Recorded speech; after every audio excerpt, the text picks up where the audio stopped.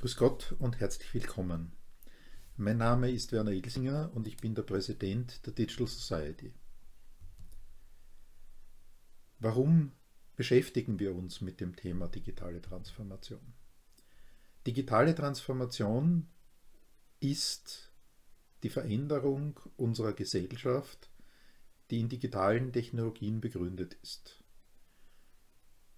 Es gibt ein Zitat von George F. Westerman, der Principal äh, Research Scientist bei MIT ist, der sagt, when it comes to digital transformation, digital is not the answer, transformation is. Also es geht hier um den Veränderungsprozess, den wir gerade durchlaufen, sowohl als Unternehmen als auch die gesamte Gesellschaft, von der wir als Privatpersonen ebenso betroffen sind. Welche Veränderung? Wir sehen gerade jetzt auch in der Corona-Krise, wie sehr sich die Dinge verändern. Wir arbeiten von zu Hause, wir sind äh, den ganzen Tag lang in Videokonferenzen, wir kaufen online, aber die ganzen Dinge haben schon vorher begonnen. Sehen wir uns einmal den Bankenbereich an. Die Deutsche Bank hatte einmal 60.000 Mitarbeiter. Im Jahr 2005 waren sie auf dem Tiefstand bei rund 26.000 äh, Mitarbeitern. Banken sind notwendig. Bankfilialen wurden aber im Grunde genommen äh, durch äh, Telebanking größtenteils abgelöst. Es gibt viel weniger Bankfilialen, als wir das gewohnt sind. Und in vielen Fällen müssen wir einfach nicht auf die Bank gehen, wenn wir unsere Geldgeschäfte durchführen wollen.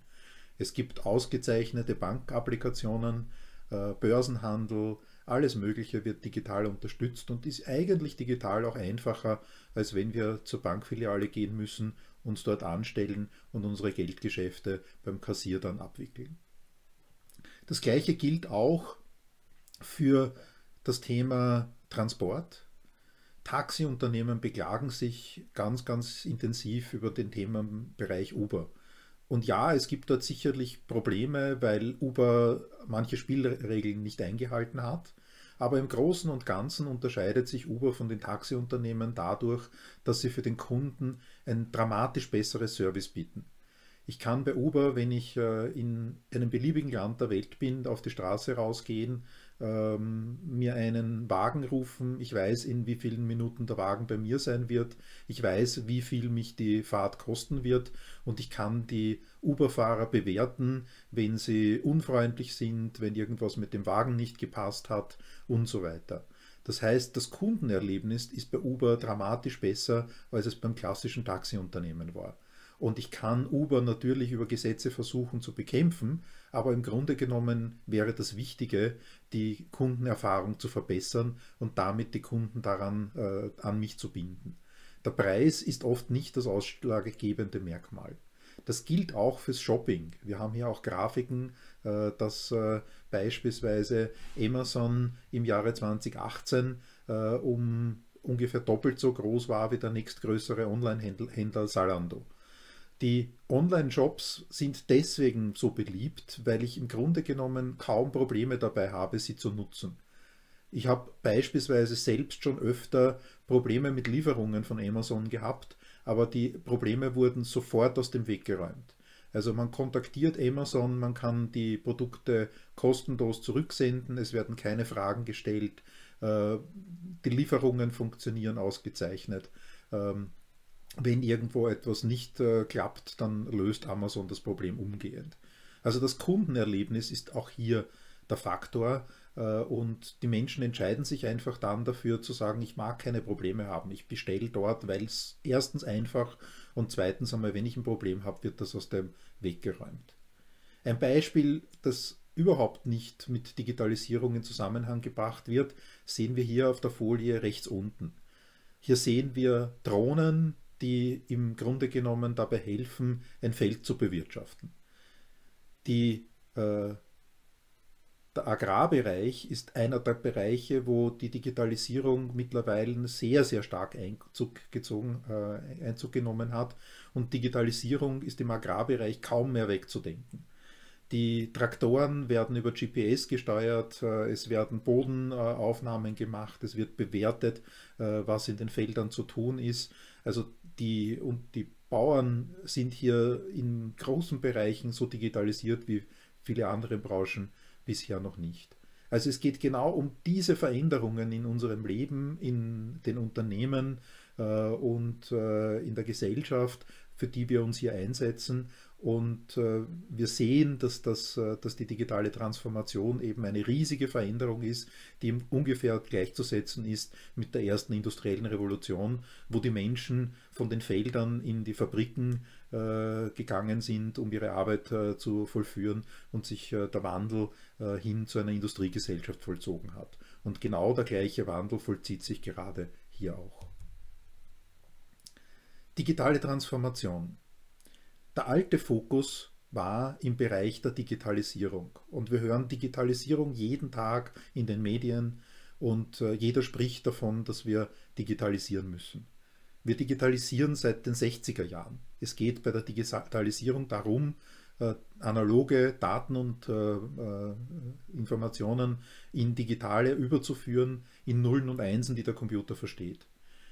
Dieser Prozess ist noch immer im Gange, aber schon sehr, sehr weit fortgeschritten. Es geht also nicht um Digitalisierung. Digitalisierung ist vor allem Prozessoptimierung. Bei der Digitalisierung haben wir Technologie eingesetzt, um das, die Rentabilität vom Business zu erhöhen. Der neue Fokus ist auf uns Menschen. Die digitale Transformation betrifft uns als Menschen und zwar als Menschen, als Mitarbeitende in Unternehmen, als Menschen auch als Kunden und Kundinnen und als Menschen auch im Bereich äh, der Bürger und des Interfaces mit dem Staat. Es geht beim neuen Fokus vor allem um die Schnittstelle zwischen Mensch und dem Business. Da geht es vor allem um die emotionale Bindung an ein Unternehmen, darum, dass man gute Erfahrungen sammelt mit dem Unternehmen, dass man sich wertgeschätzt fühlt, dass man sich abgeholt fühlt und dass man deswegen gerne bei einem Unternehmen kauft und dieses Unternehmen auch weiterempfiehlt. Der zweite Bereich ist die Schnittstelle zwischen Mensch und Technologie. Es geht nicht darum, möglichst flotte Prozesse äh, zu etablieren und uns Menschen hier obsolet zu machen, weil die Automatisierung ist schon in vielen Bereichen sehr weit fortgeschritten. Es geht darum, wie Technologie uns Menschen bestmöglich auch unterstützen kann, neue Funktionen einführen kann. Auch wiederum sowohl als Kundinnen und Kunden, äh, indem ich neue Funktionen von Unternehmen zur Verfügung gestellt bekomme, die mir persönlich das Leben erleichtern, die es bequemer machen für mich, äh, Kunde von diesem Unternehmen zu werden. Und auf der anderen Seite aber auch für Mitarbeiterinnen und Mitarbeitern gibt es neue Funktionen, die neue Arbeitsweisen ermöglichen, die uns ermöglichen, auch äh, äh, im Urlaub am Strand äh, im Grunde genommen äh, bestimmte Funktionen weiterhin zur Verfügung zu haben, wenn ich das will, äh, aber auch im Homeoffice zu arbeiten, wie wir das derzeit gerade tun. Das heißt, hier ist es so, dass auch für uns Menschen sehr, sehr viele Veränderungen passieren, dass das Privatleben mit dem Firmenleben verschwimmt, dass die Menschen und die Mitarbeitenden sich aussuchen können, bei welchem Unternehmen sie arbeiten und auch hier die emotionale Bindung zum Unternehmen entscheidend ist, äh, ob ein Mitarbeiter sich entscheidet, bei einem Unternehmen zu bleiben oder ob er es verlässt, um bei einem anderen sein Glück zu suchen. Das Ganze sitzt auf einem Fundament, auf einem Sockel, der wichtig ist, weil wenn es diesen Sockel nicht gibt, wenn es dieses Fundament nicht gibt, funktioniert alles, was darauf gebaut wird, nicht. Beispiel die Regulatorik. Die Regulatorik äh, schafft Regeln, wie wir mit Technologien umgehen dürfen, wie wir sie einsetzen können und was dabei zu beachten ist. Hier geht es vor allem auch um ethische Aspekte des Einsatzes von Technologien. Der zweite Bereich ist der Bereich der Sicherheit. Es gibt keinen Bereich in der Kriminalität in Österreich, der derzeit im Steigen ist, außer einem, nämlich der Cyberkriminalität.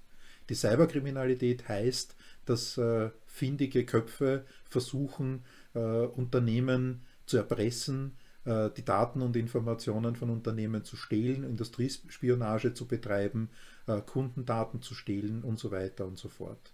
Wenn die Sicherheit nicht gewährleistet ist, dann funktionieren digitale Geschäftsmodelle nicht.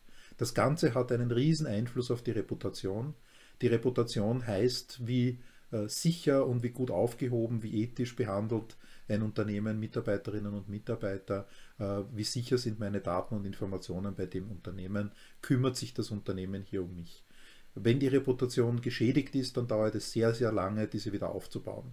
Ein gutes Beispiel, äh, wo sich jemand nicht an regulatorische Vorgaben gehalten hat, ist der VW-Konzern, der ja äh, mit diesem Thema sehr, sehr stark unter Druck geraten ist und daran stark leidet. Damit sieht man, wie, sie, wie wichtig dieser Sockel ist, damit man, dieser nicht beschädigt wird. Wenn der Sockel beschädigt wird, dann ist alles, was darauf aufbaut, im Grunde genommen wertlos. Wir haben in der Digital Society ein Modell entworfen, über äh, welche Themenbereiche man sich Gedanken machen sollte, wenn man die digitale Transformation ernst nimmt. Im Bereich der äh, Unternehmen ist das die Führung des Unternehmens. Hier braucht es Klarheit und eine Strategie, wie der Weg in die Zukunft aussehen soll. Und das Führungsteam muss ja mit an Bord sein und mit gutem Beispiel vorangehen, äh, um zu zeigen, dass man es hier auch wirklich ernst meint und diese Veränderungen wirklich gewünscht sind. Der Auslöser für die Veränderungen sind im Normalfall die Kunden. Die Erwartungshaltungen der Kunden verändern sich. Äh, Dienstleistungen, die gestern vielleicht noch ganz ausgezeichnet waren, äh, werden heute vielleicht als veraltet angesehen und die Kunden äh, finden neue Anbieter, die das Bedürfnis für den Kunden besser und bequemer stillen. Es geht also darum, innovativ zu sein, Mehrwert für den Kunden zu schaffen, Produkte und Dienstleistungen weiterzuentwickeln oder neue zu schaffen und hier die Unternehmen für die Zukunft aufzustellen. Um diese Veränderungen durchzuführen, muss ein Unternehmen beweglich sein. Beweglichkeit heißt, dass man rasch auf Veränderungen reagieren kann. Diese Veränderungen äh, bedürfen vor allem Daten, Informationen, die dann zu Wissen gemacht werden, um zu wissen, was die Kunden eigentlich wollen, um Unternehmen dann auch auszurichten und zu steuern. Äh, dazu bedarf es äh, natürlich digitaler Technologien, äh, weil die Datenmengen natürlich auch schon riesig groß werden und das nur noch von Computern gehandhabt werden kann. Technologien können uns aber hier auch verhindern, digital agil zu sein, denn es gibt viele Unternehmen, die im Grunde genommen in IT gegossene Prozesse haben, bestimmte Dogmen haben, was IT-Systeme betrifft und die sich ganz, ganz schwer verändern lassen. Das heißt, IT kann uns hier helfen, äh, sie kann aber auch äh, Verhinderer in der Veränderung sein. Der letzte Punkt ist die Unternehmenskultur.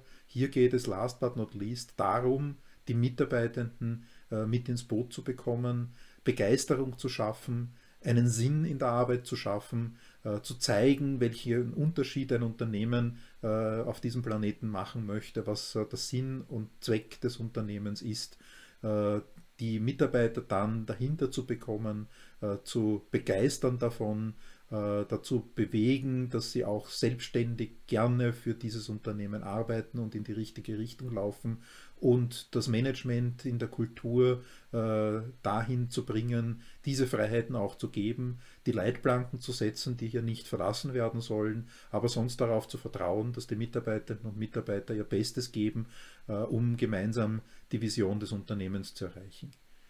In der Mitte steht nun die digitale Transformation. Digitale Tools können uns in allen vier Quadranten helfen, die Dinge besser und einfacher zu machen Sie sind aber nur Werkzeuge dazu, um unsere Strategien umzusetzen, um unsere Mitarbeitenden zu befähigen, um unseren Kunden bessere Leistungen äh, zu bieten und auch um die Agilität des Unternehmens zu erhöhen.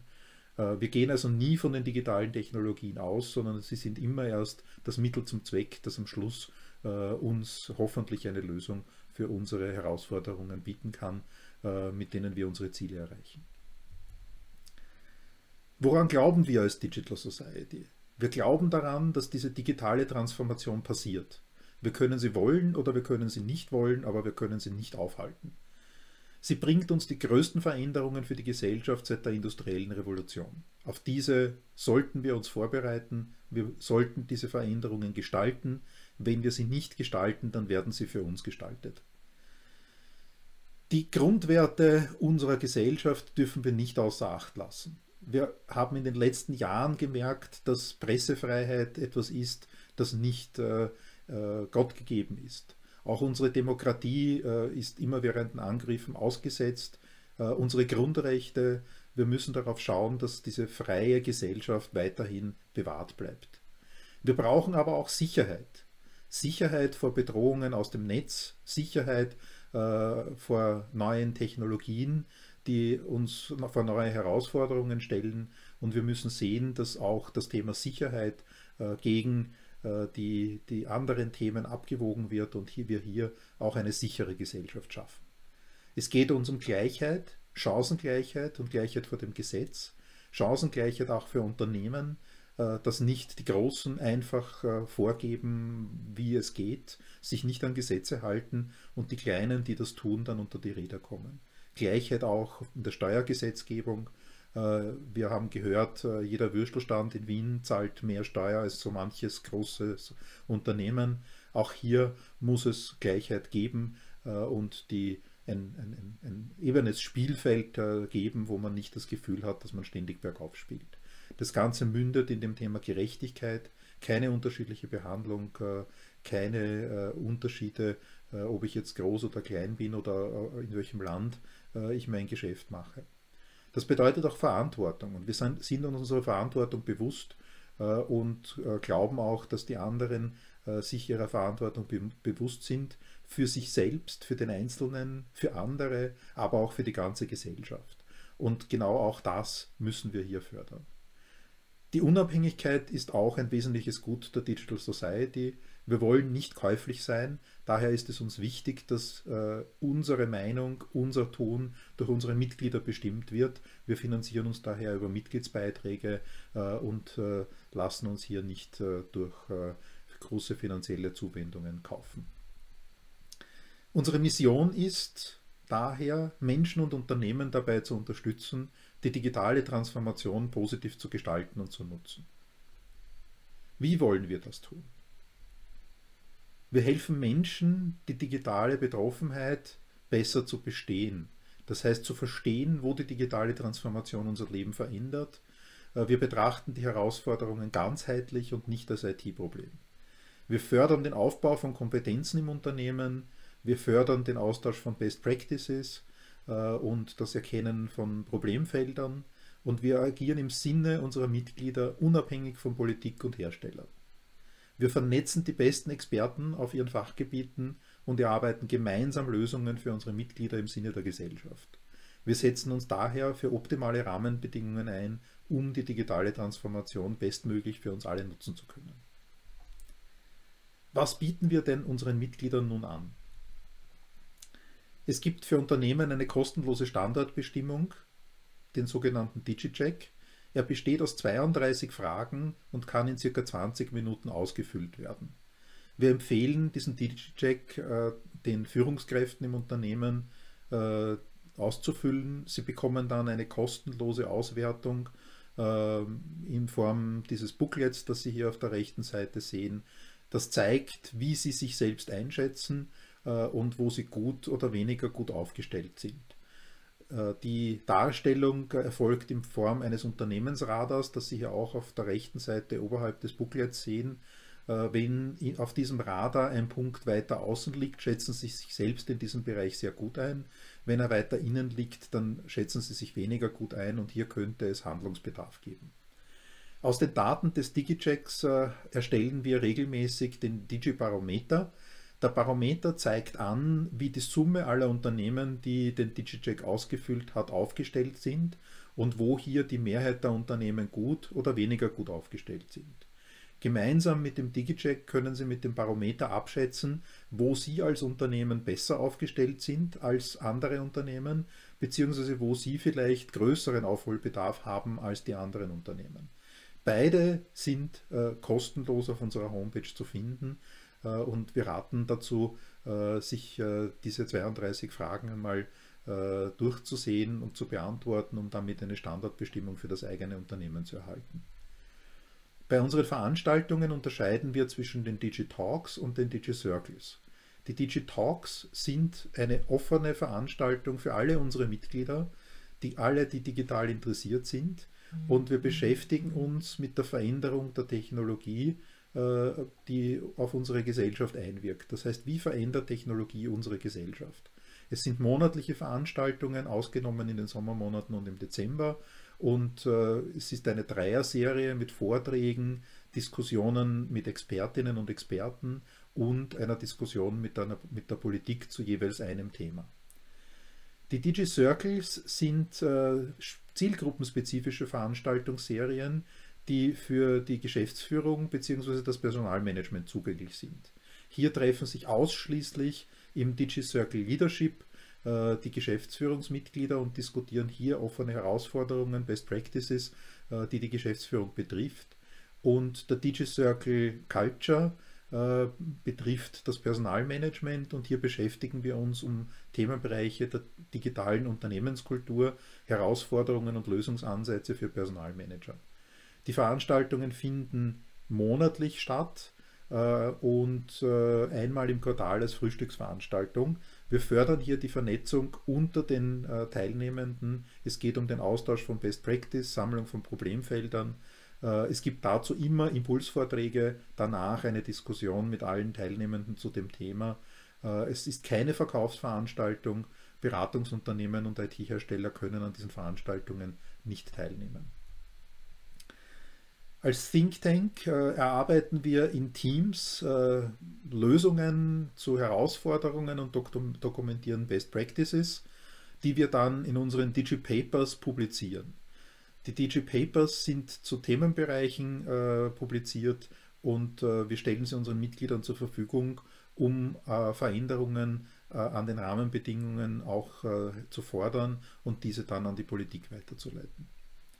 Als Interessensvertretung setzen wir uns für die Interessen unserer Mitglieder ein und äh, arbeiten damit auch an unterschiedlichsten Themen und Schnittstellen Uh, unter anderem durfte ich auch schon in einem Projekt im Bundesrat mitarbeiten, bei dem es uh, um uh, die digitale Zukunft ging. und wir positionieren uns hier eben auch mit den Interessen unserer Mitarbeiter in der Politik. Wie können Sie dabei sein? Es gibt Mitgliedschaften für Privatpersonen. In diesen sind unter anderem unsere Digitalks enthalten. Die, der Mitgliedsbeitrag kostet 100 Euro pro Jahr ermäßigt für Studentinnen, Studenten, Pensionistinnen, Hausfrauen 50 äh, Euro pro Jahr äh, und äh, damit erhält man die Leistungen eben für digital interessierte Mitglieder im privaten Bereich.